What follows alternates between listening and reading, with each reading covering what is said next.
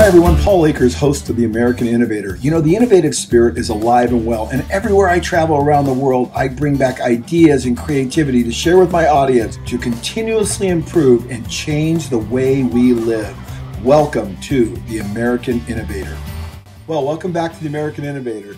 You know, I've learned early on that one of the most powerful things to do is become effective at communication.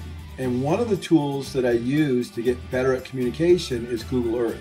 So today's American Innovator, I'm going to do something a little different. I'm actually going to give you a lesson in how to use Google Earth to actually create a, a show of all the different places that you might visit in the course of your lifetime. Now, you've seen me use this tool a lot. When we went to Africa, I used it. And I'm going to show you how I did that. It's actually incredibly simple, and I'm going to make it simple so you understand how to do it. So let's get started.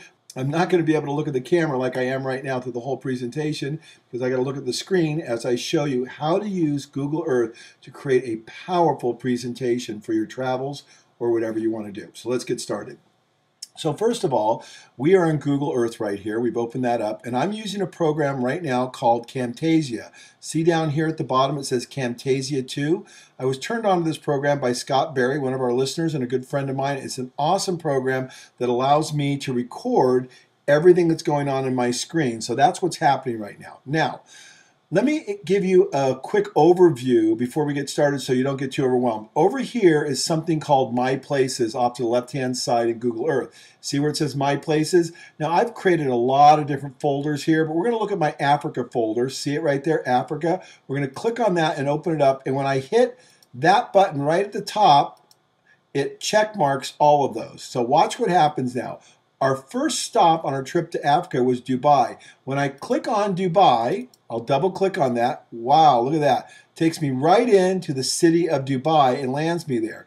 But after Dubai, of course, I can zoom in just like this with my mouse. I'm just rolling my cursor and I can see the Burj Khalifa right there, the tallest building in the world, about 200 stories tall. But let's say now I want to go to Johannesburg. So go over here to the left-hand side and I hit Johannesburg. I double click on that and look at this. It flies me right down to Johannesburg where we landed at the airport. So now I want to show you how I've created all these points. So let's say I want to go into Johannesburg. I'm going to do it a little different. I'm zooming in with my mouse wheel right now. And I go in, and this is the airport we landed at. And this is the view. I'm going to click on Johannesburg one more time. That's the view that I put my place marker. See that pin right there? So let me show you how you make a place marker. So let's say I don't like that view. Let's say I like this view, a little bit wider. I want to see a little bit more Johannesburg, and now I want to tilt it a little bit. So I come over here, and I hit that arrow right there, and now I'm tilting it down so I can see the horizon a little bit. That to me maybe looks a little more comfortable and something that I would like to see. So I'm going to zoom in right about there. There's the airport. But now I lost the horizon, so I'm going to go up again and I'm going to tilt it. There's the horizon right there. And let's say that's the angle that I want to show my viewers of Johannesburg. So then I come up here and I click this little yellow button right there, add a place marker, and I've added one, and I'm going to put it right here, and I'm going to put Paul's. Now I'm going to click here. I'm going to wipe that out there, and I go Paul's new pin because I'm just showing you how this works. Okay? Now, that's where the new pin is going to be saved. Now, before I say OK, I can move that pin anywhere I want. Just grab it and move it around. Then I say OK, right? So there it is. So now look at over here. If you, There was Johannesburg right there. So now I'm going to drag that new pin back up to there. And you see I have Johannesburg. There's the original one right there. That's the original view. And then this is Paul's new pin right there. But let's say I don't like the view that I chose there. Watch how easy this is. I'm going to take this and I'm going to take my little north button right there and I'm going to flip it around. I'm going to flip it around because I want to look at it from a little different perspective. I don't like that view. I'm going to come over and I'm going to say I want to look at it from that view right there. Okay? Then I'm going to zoom in a little bit more. I'm going to come in, and that's the view I want. I want to tilt the angle a little bit right there. Now I'm on, see how it's highlighted Paul's new pin? So now I right click on that, go down to get information, and these are all the specs right here for Paul's new pin. And you notice the, the marker's highlighted now. So now I can move it because I've got that window open. So let's say I want to put it right there, but I want this new view to take over. If I just say OK, it's going to revert back to the original view. So if I click on the View tab and go Snapshot, Current View, Snapshot, so what it's done now is it's remembering this new view right there. So now I push OK. I'll go back to Johannesburg, the original view, right there. And let's say I want a new view, Paul's new pin. Look at that. It goes right back to where I want. Then when I want to go to Richards Bay, which was the next place, I just click on that and it takes me right over to Richards Bay and that was the next day on our trip. So here we are in Richards Bay and that was the next day. And then from there we went to the Phinda Forest Lodge. So I'll click on this Phinda Forest Lodge and it takes me up the coast and over to the Phinda Forest Lodge. Now, I found the Phinda Forest Lodge. I went in there and I remember there was a watering hole right here that we looked out from the lodge. And I remember there was a trail going across here. And I zoomed in and I said, oh, yeah, indeed. Even though the graphics are not real good here, the satellite shots are not perfect, I was able to identify that as definitely the Phinda Forest Lodge. But let's say again, I don't like the angle that I'm looking at this. I want to see a little bit of the horizon. So I'm going to go up here. I'm going to tilt it like this until I start to get the mountains into view. Doesn't that look much nicer like that? Gives you a little better perspective so you know where the Phinda Forest Lodge is in relationship to the mountain range right here because this used to be a big, um, actually the ocean, this is a big sand forest is what it is now because the ocean came up against the mountains. So that's the view I want now. So I go up here to Phinda Forest Lodge and I right click, I go get information, and what's next you think? View, snapshot view. Now I've saved it. Now watch what happens. I'll go to Richards Bay. There's that view. And let's say, well, I won't change that. I'll just go back to Phinda Forest Lodge. And there it is. And now we've got the horizon up here, much nicer view. And then the next day, we found a water monitor over here by this water pond right here. We were driving down this road and we stopped. And then we went over to the airport and James chased a water monitor along here. It was very cool. And then we go over here. We crossed a really deep river. This was really uh, a lot of water here. We had to, the Jeep, the water was up to the side of the Jeep. It was crazy. And then we found some giraffes right over here. So do you see how I've mapped out our entire trip on Google Earth, and this was a really cool pond that all the hippos used to hang out at. We, you watch some of our videos, you'll see it. We were sitting in the truck right here. But let's say again, I don't like that view. So all I do is go up here, and then that lights up, and I'll tilt this down and give a little nicer view. Give a little bit of the horizon. Okay, and then I'll pull this out like that. And there is the view that I'm looking for right about there. So you right click, get info, view, current snapshot, okay. And now I've saved that. So I go to the giraffes. That's where we found the giraffes. Up there's actually a power line right here, and the giraffes were hanging out up here.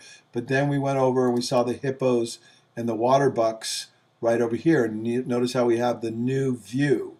So I guess at the end of the day, Google Earth is so cool because you can zoom out like this, find a place in the world that you want to show your friends and family. And then here's another cool trick. Look how I have Africa upside down. That's disorienting. You go up here to the north and you double click or just click it one time and then it makes everything north up. So now I want to put a pin down here on the tip of Africa. We went down here. We went shark diving, actually, white shark diving right here in this bay. It's pretty cool. So let's say I want to put a marker there. So all I'm going to do is find out approximately where I want to be. I think it was right here, actually. So it was right about here that we went out. So now I'm going to tilt it down, get the view that I want. You can see it's quite mountainous here. Nice mountain range. I get the view that I want. There it is. Ah, look at, see, you can really get a much better perspective of what the tip of South Africa looks like. And I'll tilt it one more time, just kind of positioning it, finding that perfect spot. Tip it like that, bring it in, and this is where we were, right down there. Look at that. Isn't that cool? So then I'll go up here to a place marker, and I'll drag it right down because we got on the boats right around there. And then I'll put sharks right there.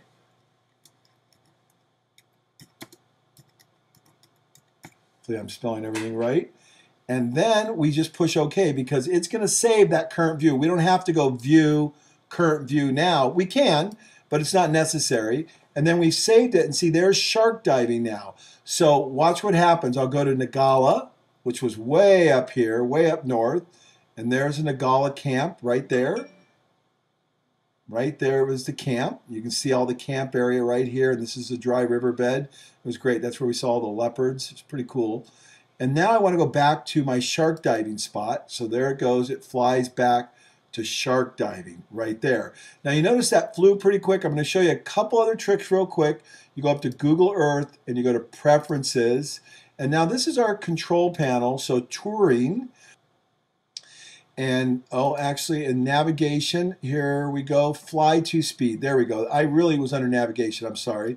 So we want to go back to slow it down. I think 10 is the number that I generally like to work with. About 9 or 10 right there. See that? We'll go apply and OK. Now let's go to Nagala Ngala.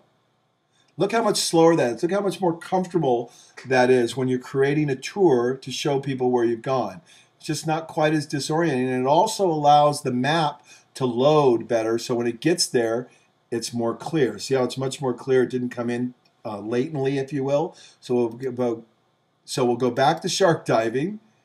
There you go. See how much nicer that is? Much better. We go past Johannesburg. And of course, if you don't want to have this really zoomed in view right here, you can change all that simply by going like this. You just zoom out and you want people you want people to see the approximation of where you were in South Africa, right? So you, here you go. So Ngala is way up there, and shark diving's way down there. You just want to give people a general idea. You don't want to zoom in like I did. So you go back to shark diving, and you go to Get Information, View, Save the current view. Okay. Now let's try it again. Ngala. Okay, so here we go. We're zooming from shark diving back to Ngala. Now see, it's much slower now, and maybe that, that speed is perfect for you. If not, you know how to correct it because I showed you it's in preferences. Now we're going to go from Ngala back to shark diving, and let's see if we're comfortable with that speed. Gets out, zooms way out, gives you the big bird's eye view of Africa where you are, and shark diving comes into view down at the bottom. So that's how you create a folder. I didn't actually show you how to create a folder. Let's do that right now. So you're in My Places. You oh, actually I did show you how in the very beginning a Google uh, tour or Google Lesson 101. Just you add a folder right there, brings it up, and I'll just put test for this one real quick just to make sure it's clear. We're kind of reviewing, and then away you go. And now that you've got the test, now what you do, you're highlighted in the test one, and if you want to create a new place marker, let's say right here by Cape Town, okay, so we'll go right in here by Cape Town, right there. Actually, I don't, that isn't Cape Town, excuse me. I'm not very good at this, am I? Cape Town's right here. Got the wrong place, so we go into Cape Town, and I'll just do a real quick one. I'll go ahead and grab a place marker and Robben Island, actually. There it is. There's Robben Island. I'll put it there. And again, always forgive my spelling because I'm not the best at that. R-O-B-B, Robben Island. Okay, so we got Robben Island in, and we'll say OK. So see what happened under test, that new folder, we got our first place marker. Then, of course, I can collapse these folders just like this. And if I want to take off the pin marks, what, see where it says Robben Island right there? And I don't want that to show up anymore. I just simply click on that and it disappears. And when I click on test or click on Robben Island, either one, it re-highlights the pin. So that's how easy it is to create a tour and actually identify all the places you've gone in the world. So as you can see over here, I have all these really cool places I've been, the Bahamas right there. If I open up that folder right there and I click on that, it's going to take me right over to Crooked Island because I've been over there and it shows all the cool little places that I've been and you can see all my pins are highlighted up. And if I want to go in to a tight view, I simply click on that. It's going a little slow now. Maybe I might want to speed that up.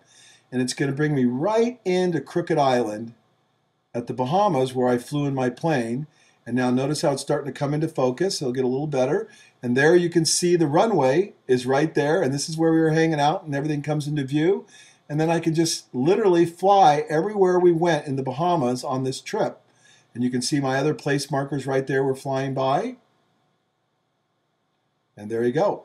Pretty cool, isn't it? So this is how you make a tour. Hopefully this American Innovator has been helpful, trying to leverage technology and show you all kinds of cool things you could do because really it's so important to be effective at communicating. And I believe Google Earth and creating a tour is one of those things that everybody should learn how to do. I love doing it and, and life is full of great stories. So we'll see you next week on The American Innovator. If there's anything else I can help you with on this program, let me know and we'll go from there. See you next week. Remember, life's an adventure. Be a part of the solution. Go out, learn, improve, change, think outside the box. We can change the way the world thinks. Be an innovator.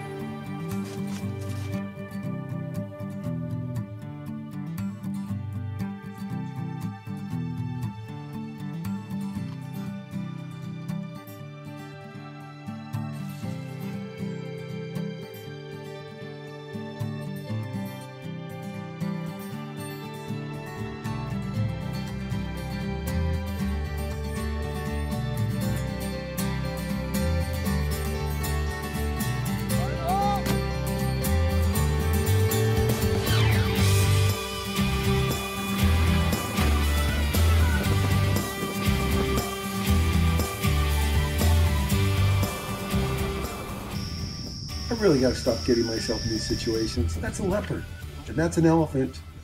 Yes, and this is a cheetah. Like, oh, I saw Here, that. kitty, kitty, kitty, kitty, Oh, kitty. cute. He wants to play. Uh oh, uh oh, got it.